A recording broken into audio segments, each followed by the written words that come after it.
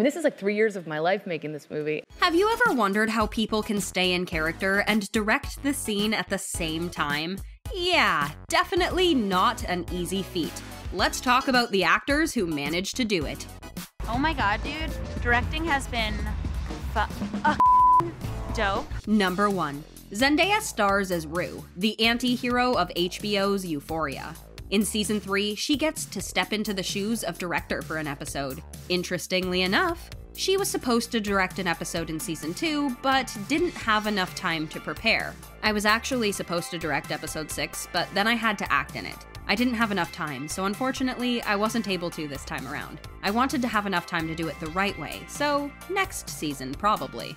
Number 2. This was a doozy. Olivia Wilde had a great time directing Don't Worry Darling, and was even going to play the lead role before handing it off to Florence Pugh and opting for the smaller role of Bunny. It didn't help that it was in the middle of a pandemic, but they made do throughout all of the restrictions and delays. We were so lucky to be making art in the midst of what was so difficult, like a difficult time for everybody. It was a three year process to create this film, but getting to work with such a stellar ensemble was a major highlight for her. It was really amazing because everyone just bonded. Number 3. Grey's Anatomy has been running for 16 seasons. It makes sense that the actors would also get the opportunity to try out some new behind the scenes roles. Ellen Pompeo, who stars as Dr. Meredith Grey, gets her shot in the director's chair in the show's 13th season for the episode Be Still My Soul. I have a very specific vision, and I see a lot of things that people miss. So I started thinking about it, and it's hard to say no to Debbie Allen, especially when your boss writes a book titled Year of Yes. I just have to try it once, and if I don't like it, I don't have to do it again. Number 4. She's a real marvel. Brie Larson starred in Unicorn Store, where she had to learn a whole new bag of tricks when it came to directing herself. She was a bit intimidated by having to direct and act, but realized how much it would help the film if she ended up doing both. When referring to herself as the lead actress, I knew how she was going to play certain scenes. I knew how to cover it because I knew how she was going to play it. I knew she was going to show up on time. I knew she wasn't going to have a problem with the blocking that I'd set up ahead of time. So, at the end of the day, her being the star and the director became a huge asset to the movie's success. Number 5. After directing 10 episodes of Friends, David Schwimmer went on to direct several other films throughout his career. His first time in the director's chair was in Friends, sixth season for the episode The One on the Last Night, which gained a favorable score from the audience and even shifted the Friends group dynamic. Okay, uh, here's the electric bill. This is how much we pay for electric? Well, yeah. He went on to direct episodes in seasons 7, 8, and 10. Number 6. Bradley Cooper made his directorial debut in the iconic film A Star is Born. I always knew I wanted to direct. Uh, I've always grown up uh, making movies in my mind. It was a major box office hit and won acclaim from many film critics. Though getting to the director's chair was no easy feat. It was a long process to get that coupling greenlit by Warner Bros., but in retrospect, I'm glad it wasn't easy. No part of this movie was easy. First of all, it's a guy who's never made a movie making a fourth version of A Star is Born and a singer who's never made a film. Warner Brothers wanted a screen test with Lady Gaga before they even considered giving the film, as well as Bradley Cooper's directorial ambitions, a green light. Number 7. Who knew? The former Office actor co starred alongside his wife, Emily Blunt, in A Quiet Place, and A Quiet Place 2. His directorial debut was met with rave reviews from critics and fans alike.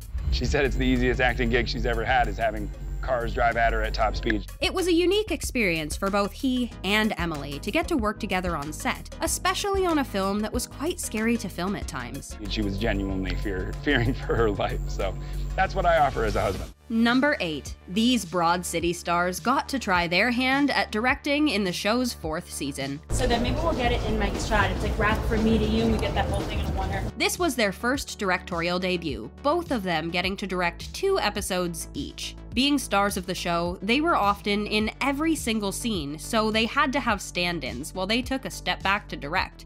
You have to be in the scene as an actor, but also conscious of the whole scene as a director. Number 9. Neil Patrick Harris has starred as Barney Stinson for nine seasons of How I Met Your Mother. In 2010, he directed the episode Jenkins. At the time of the episode, he ended up confessing to TV Guide that he liked directing even more than acting, but had a hard time doing both at the same time. I was doing a scene in the bar with Jason Segel and Josh Radnor, and I'm thinking, great take, love that. Oh, we should speed that part up a little bit. Then I had to quickly think, wait, it's my line. Number 10. He ain't no scrub anymore. Zach Braff made his first debut as a director in 2004 in Garden State, in which he starred alongside Natalie Portman. Since then, he's gone on to direct a number of TV shows and movies, including the legendary sitcom Scrubs. He describes a director as someone who sets the tone and environment on set. It's like you're throwing a wedding. My job is to make sure everyone's having a good time. There might be stress in my head as the wedding planner, but I don't want my guests to know about those stresses. Number 11. Angelina Jolie wears many hats for her film By the Sea. From screenwriter to actor to director, she really did it all. This was the first movie she got to star alongside Brad Pitt in 10 years. I know Brad's triggers and what he can do and what he is thinking about, so I had to step away and just be very careful in how he was directed. The strangest scenes for her to film were the ones where she and Brad had to fight with each other. It was so weird trying to tell him to fight with me better. Number 12. Drew Barrymore starred in the 2009 film Whip It, which also became her directorial debut. Directing was something she's always wanted to dip her toes into. She fought for the film to be made and pulled out everything she's ever learned throughout her career in order to make it happen. For me, it was just a natural progression of taking everything I learned and putting it into something different. It's like being a bank and collecting all that money and never doing anything with it. Number 13. Starring and directing in the HBO show Togetherness would have been a much greater challenge for Mark Duplass if he didn't have his brother, Jay, to help guide him. We really share the same brain, creatively. When I'm in a real emotional scene, I don't have to worry. I really become much less of a director in those moments and rely on Jay to help me through them. Number 14. You absolutely know him as Walter White from Breaking Bad. He had the opportunity to direct three episodes, and as the show's star, it proved to be a challenging juggle of duties. The thing that you have to be cautious about when you're directing yourself is when you're in a scene, you can't watch the other actors, so you need to make sure you're getting what you need. Number 15. Major multitasking was involved in the party's just beginning. Karen Gillan wrote, starred, and directed the film herself. Though you'd think it would be a difficult experience for her, she actually quite enjoyed the whole process and found it to be super natural. It was um, a lot of work, but because I'm so enthusiastic about the story, and I just had the energy for it. All of these performers really had their hands full, taking on sometimes three roles at once. Which actor on the list is your favorite?